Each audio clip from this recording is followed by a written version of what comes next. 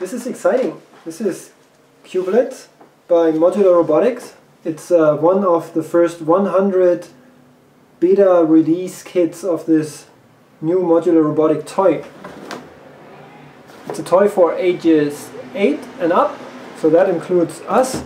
Therefore, let's open it. That's what's inside. Bunch of cubes in various colors and charging electronics. The cubes are magnetic. So let's start sorting them.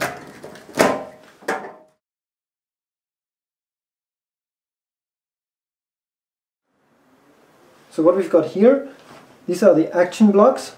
All of them have some action like wheels, a speaker. We've got sense cubes. These are the inputs. So one of them is a dial, distance, sensors. We've got the all-important battery block, power supply for all the robots we will be building. And we've got the think cubes. They help you uh, implement logic in the robots. So first we need the battery cube. We need to switch it on on the back, otherwise nothing's going to be working. Pick one of the inputs and the simplest output, the bar chart. So when we turn the dial up, the output goes up. So what's happening here is that the information is traveling from the sense cube to the action cube. Let's see what other outputs we have.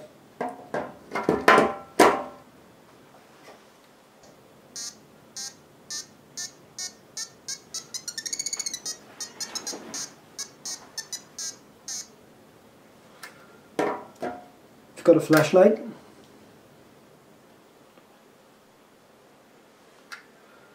Actuator cubes that you can use to make your robot move. So this one's got wheels, so you can make the robot drive away.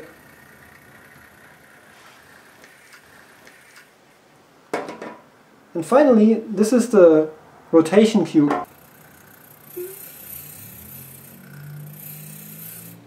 So let's build our first real robot out of this, this has some, which has some useful function.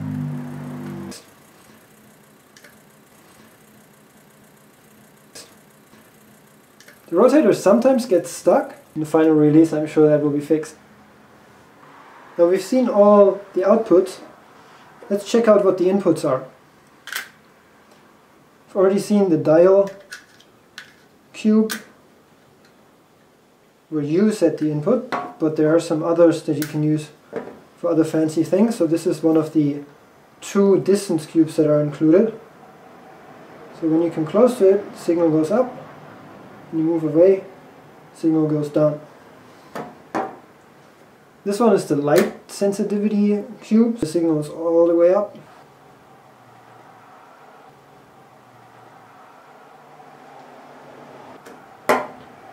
And finally, what we've got here is the temperature sensor. I put it in the freezer earlier and the signal actually went down. But I can't show you here on the table.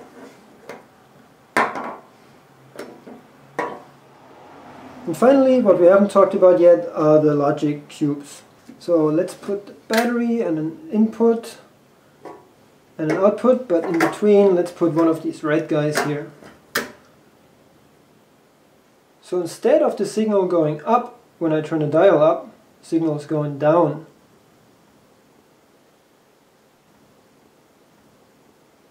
That's because the red cube is the negate block. So every signal that's flowing through it from an input to an output gets inverted.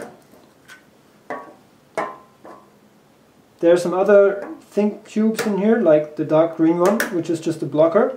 So that prevents any kind of thinking, only the power is flowing through, but the signal doesn't pass. And the light green ones, which just pass the signal without doing anything to it.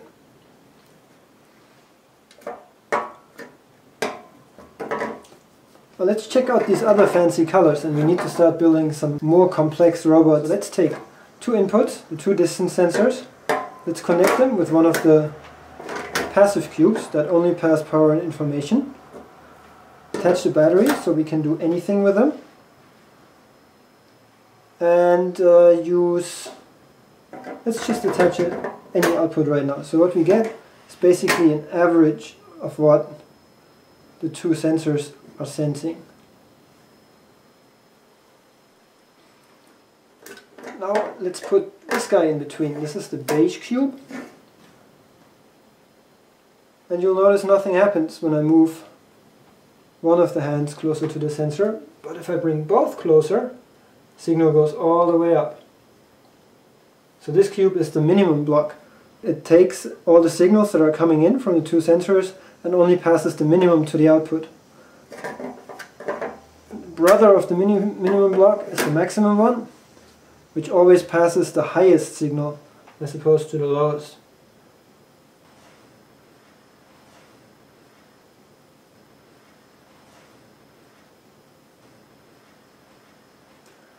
Of course we can now use the blocker to attach a completely different set of sensor and actuator here. So I'm getting the flashlight output now. Here it is.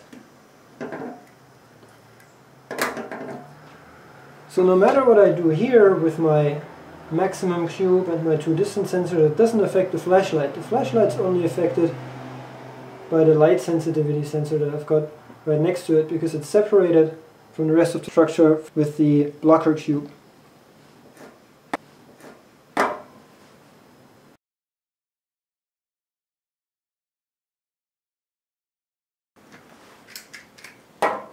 Build a little robot train.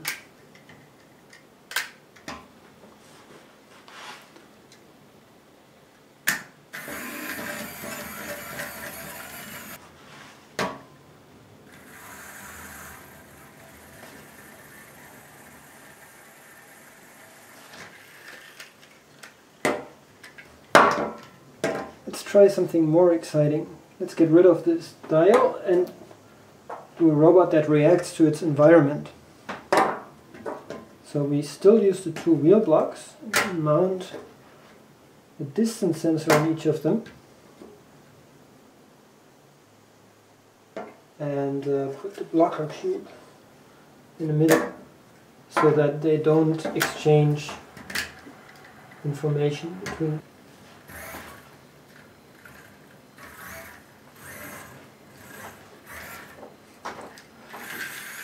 Note that if we wouldn't have the blocker cube in between, both of them would get both signals. So when I place my hand behind this one, both of them drive, but the side where the hand is next to the sensor is driving a little faster than the other ones.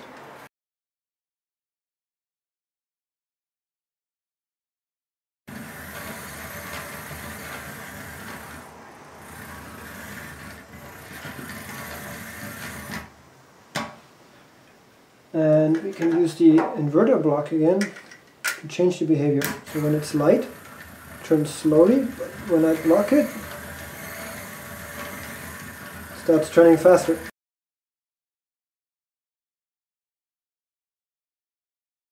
So let's try to build a robot that stops when it hits a wall. So we'll use a light sensor for that because it's dark and the sensor is right up against the wall. This is the drive block and the battery Perfect. So you'd think that you can achieve the same thing by using a negate block and a distance sensor because when the sensor is right up to the wall signal would be high so it gets negated and gives a very low signal when it's against the wall but a very high signal when it's far away from the wall. So let's try that.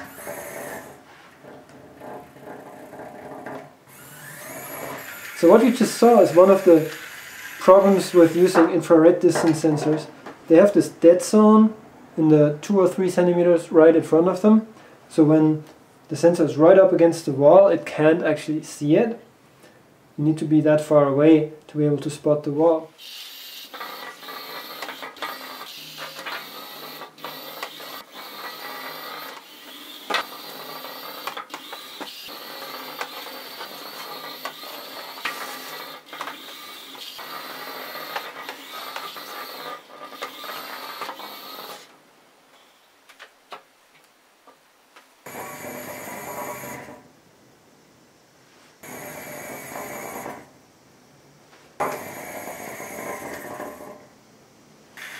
So let's do some sensor fusion.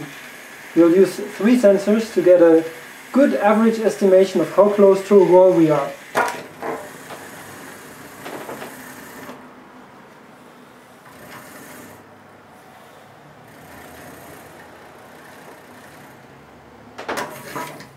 So to explain that, we've got one distance sensor here, one distance sensor here. They both have a negate block, so the closer you get, the smaller the signal gets.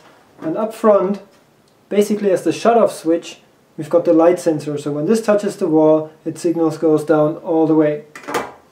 They get combined in the passive cube and then only the minimum of them gets passed on to the two motors that drive this train across the table.